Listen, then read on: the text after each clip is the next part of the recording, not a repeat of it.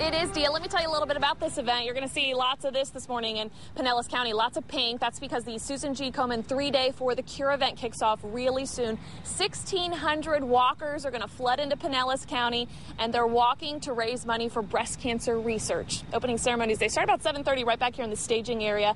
All those walkers and all the volunteers will hear survivor stories to get pumped up for that 20 mile walk today. We're going to be checking in with you live all morning as the walkers and volunteers start arriving. But right now, I want you to meet Wendy Cleek. These kinds of fundraisers, they're important to her. See, Wendy needed a mammogram. She couldn't pay for it.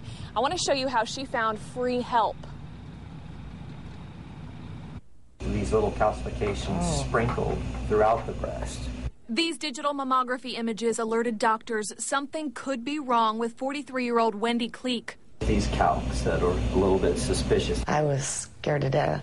It got worse when doctors told Wendy she needed a biopsy, but her health wasn't her only worry. I can't afford it. A single mom, Wendy cleans houses for a living and does not have health insurance, but she found the help she needed for free. I think women as a whole aren't aware that there's programs that do give mammograms free of cost.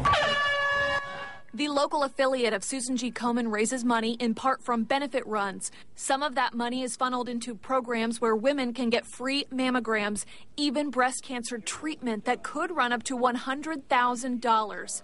Wendy took advantage of one of the programs through the Moffitt Cancer Center. I just thought, wow, I'm getting I'm finally getting some help. It's a simple application process. Only low income women with little or no insurance are considered. This year, 4,000 local women are expected to get the free mammograms. Turns out for Wendy, her lump was benign. Relieved, and that more women in my predicament should know about it.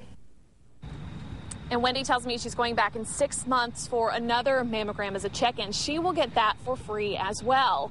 Please visit our website, abcactionnews.com. I've posted a helpful article to see if you qualify for this free mammogram. And again, fundraisers like this help make these free programs happen. A bunch of volunteers just started arriving over here. This is the uh, the check-in area where again 1,600 people will be arriving later this morning to help raise millions over the weekend for breast cancer research.